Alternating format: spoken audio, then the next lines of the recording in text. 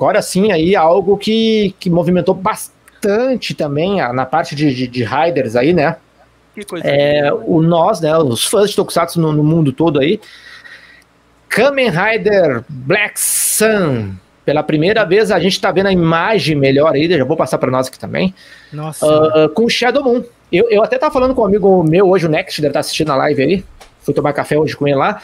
E o Next me alertou, cara, essas cores aí não são definitivas. Parece que só jogaram as cores. Essas cores não estão direto mesmo no uniforme. Tem muita coisa aí que tá oculta ainda e vai vir uma imagem melhor que essa aí. Eu acredito nisso, cara, porque esses olhos não vão ser dessa cor Não, aí. Eu já acredito igual nos efeitos, assim, por exemplo, tá vendo as linhas? ah, Tem a linha verde aí do Shadow Moon e a linha mais ou menos laranja do Black.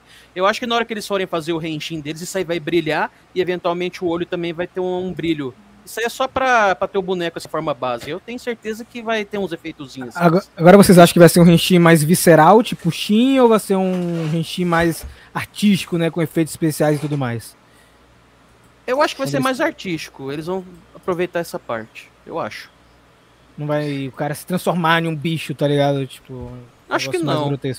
Se for, vai ser por etapas, né? Lógico, vão dar uma acelerada lá, mas eu acho que vai ter a parte larva, vamos dizer assim, depois a essa Acho que tá evolução. lindo aí. isso aí, gente. Inclusive Cara, o tá Black tá demais. maravilhoso. Tá, Tá lindíssimo. Ó, o pessoal não gostou desse negócio no, aqui no, no pescoço dele. Eu achei insano, cara, esses espinhos. Eu achei sensacional, velho.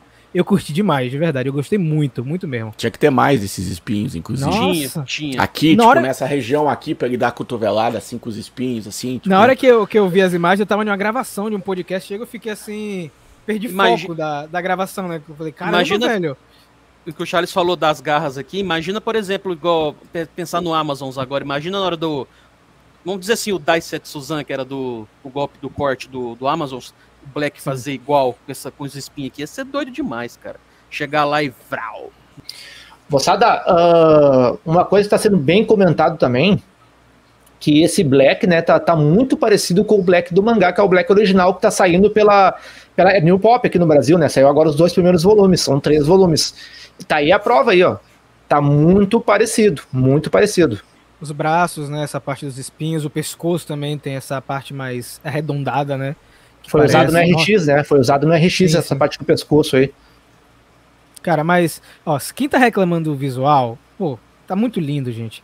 É, e você, a galera tem que entender também que é uma proposta diferente, né? Não, não, não é pra ser igual a série que a galera assistiu lá na época da manchete, é um outro produto, né? É uma repaginada, e como o próprio Shirakura comentou em entrevista, eles estão tentando alcançar um público maior, eles querem ampliar o público deles com esse Kamen Rider. Então, é, eu acho que é o caminho certo. Eu acho que é o caminho certo. Uhum. Vai agradar? Vai deixar de agradar algumas pessoas? Vai, mas eu acho que eles estão fazendo certo.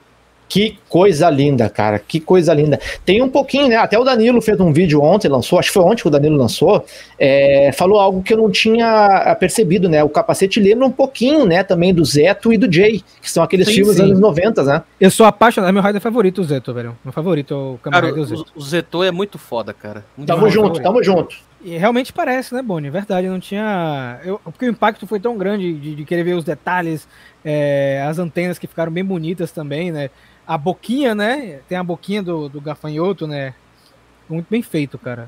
Gurizada, ah, eu sei que te- teve alguns, muitos fãs, né, de, de, de Kamen Rider e tal, é, não estavam entendendo, não estão entendendo ainda a proposta, né, desse Kamen Rider, né, cara, tá dizendo que tá, tá, tá, tá diferente da linha. Cara, é, ele já é para ser diferente da linha. Ele é para o público de Kamen Rider Amazon, por exemplo, né, do, do- da, da série da, da- feita pela Amazon. Já é de propósito, galera, é para ser algo mais, é, não é para ser algo infantil. É, esse, É esse- esse- esse certamente não vai ser uma, uma linha campeã de brinquedos para criança. Não vai ser, porque não é o Vai público. vender produto de luxo, provavelmente, Boni. Uma estátua, uma coisa assim, né? Por a galera mais velha. Sim, sim, sim. Não, vai ter os brinquedos, logicamente, como saiu dos Amazons, né? Lá, Ele o é pra, pra galera mais antiga. Pra quem é, é- é fã do, do, Black e vive pedindo uma série Rider mais adulta, que não é, não é o propósito da, da, da série regular da franquia, tá aí, gurizada. É esse aí, ó. Tá aí, ó, chegou. É. Pega o superchat ali do Jardel, Boni. Olha o que, o. Jardel falou, importante. Tá Olha na tela. da massa. Olha lá, ele falou assim, ó, Black Sun vai ser animal. O ator tá no Oscar com o filme Drive Marcar. Assista esse filme. A equipe com o Kiyotaka e Higuchi, um diretor bem autoral. Aí, ó. Isso é bom. Olha, olha só que. Olha só que importante você ter é, o Oscar, é, o, o, ator no Oscar e você tem um filme de Tokusatsu, né? Você faz uma ponte, a procura vai ser maior, né, cara? A procura vai ser maior para assistir.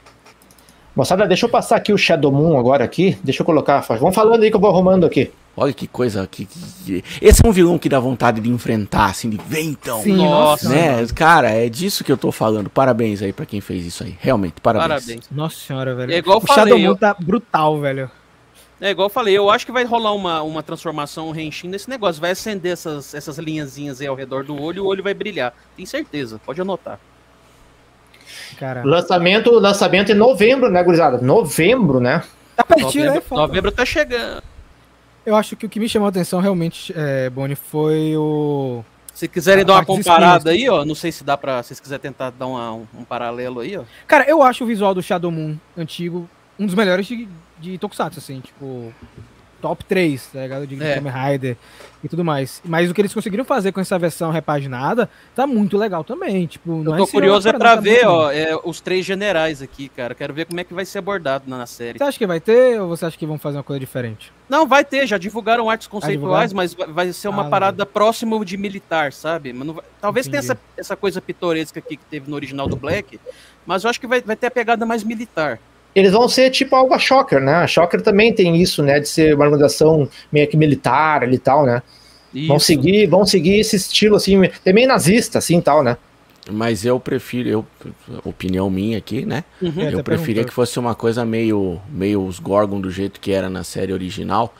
Porque eu achava muito legal, assim, porque até hoje eu não sei o que, que eram os Gorgons. Eles eram uma seita, eles eram demônios, eles vieram do inferno. Eles... A minha seita... Quem era? O que, que era? A seita que dói menos, viu, Charles? É, é isso. Be boa!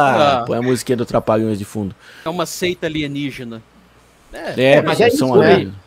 é, é uma seita e eles estão infiltrados na sociedade, né? Eles tinham políticos, tinham músicos, tinham é, artistas marciais, né? Até é mencionado lá que, que os monstros mutantes são todos humanos, né? São é. todas pessoas corrompidas que queriam a, vida eterna, né, e tal. Cara, é, é, Cara, isso já chamava atenção quando a gente era criança, cara. Os Gorgos é uma, uma seita alienígena. Uhum. Alienígena, né? Logicamente.